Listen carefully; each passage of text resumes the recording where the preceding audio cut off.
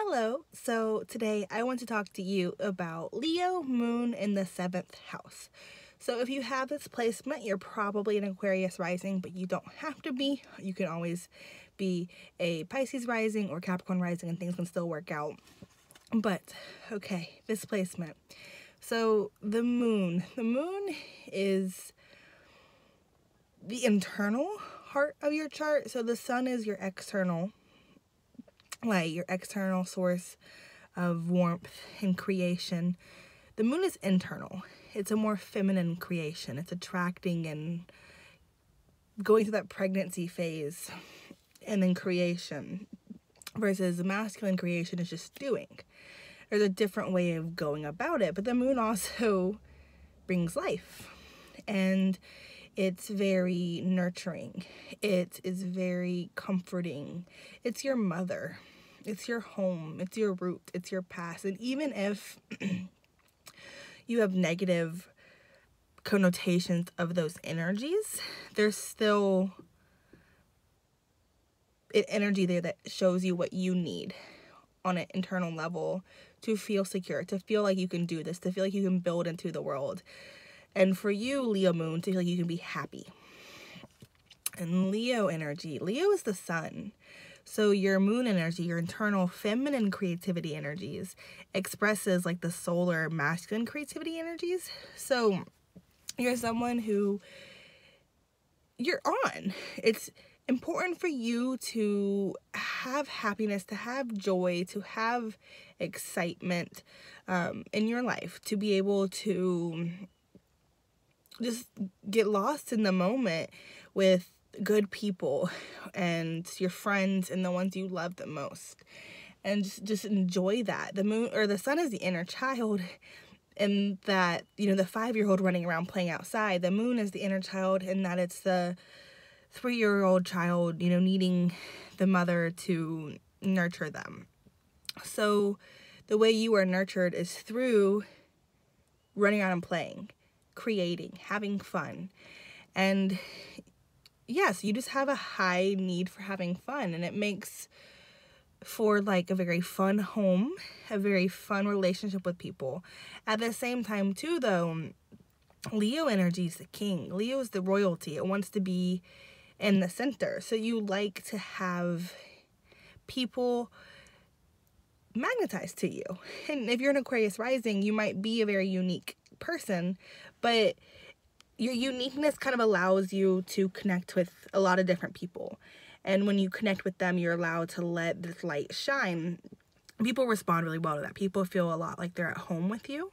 Um, if you do struggle, though, to kind of let your own love energies, um, your own heart shine for itself, then you might find that people kind of are put off by your desire to be in the spotlight.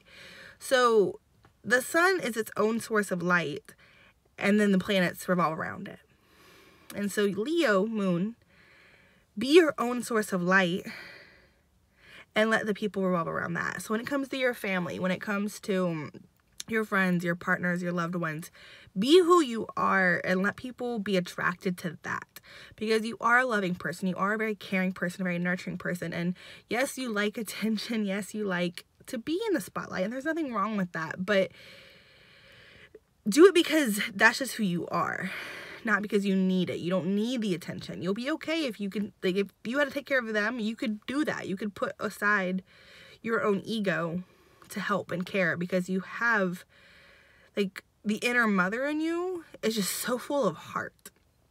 And the seventh house is partnerships, it's relationships, it's the way we meet other people. So you bring this energy up when you meet people. Like you are probably someone who is so warm to connect to, to be friends with, to, to talk to, because you have a way of just nurturing and bringing light energy in. Now, with a Leo moon, you may have had a bit of a dramatic mother, eccentric mother, um, a very creative mother, a very unique mother, very bold mother, but it's going to kind of translate as a very unique, bold quality in yourself. And it may have felt like, too, at times, like your mother depended on you to kind of give her light, to shine light on her, to be the light of her world. And so don't fall for the pattern of finding someone who's a victim who needs your light. Don't give your light to people just because you feel like you feel obligated to because they tell you you have to. Your light is a very special and cherished gift. The moon is not always out. The sun, every day from sun up to sundown, the sun is fully shining. But every night the moon's not always out. Sometimes the moon is full, but sometimes the moon is is not. Sometimes you don't see any of the moon. And so your sunlight, you do have phases where you need to kind of retreat inward and go within and take care of the self. And then you have times where you're like the life of the party and you can go out, but you can't always be that energy when you need to go in, when you need to reflect, when you need to take care of the self.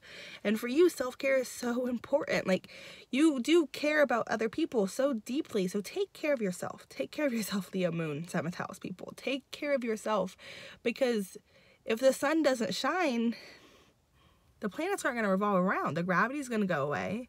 The life the sun gives us is going to go away. And so, make that your priority. Make that your priority to shine because the seventh house energy, the people you meet, they're to feel like home and they're to feel like sunshine and heart. But it's because you have that energy in yourself, because you can bring that energy to the relationship, to the table, because you have it in yourself. You're a beautiful soul, a loving heart, and just like the energy is just, it makes me so happy to tap into and to feel into your energy, you guys. So celebrate you Take care of you and enjoy the people around you. Because if I just, it feels like life's a party and you feel content in yourself and you smile and you look around and you have all these people, your partners, your family, your friends that are so important and so close to you. And they've probably been there for a while, you know. The moon is the past. So you have people in your life from the past who are still there for you. You have family who is still there for you, blood or water. You have family. So enjoy. Let the light shine. Um, if you want more information on other placements in your chart, um, you can feel free to request specific placements or you can always book a reading with me. I'm going to leave the information below. Um, please leave comments and feedback on how this resonates with you or how it doesn't because a lot of times the energy can express differently with other things at play and I really it's important to have the, the full picture in. So leave a comment. Um, and if you like, please share, subscribe, all that good stuff. But until next time, bye-bye.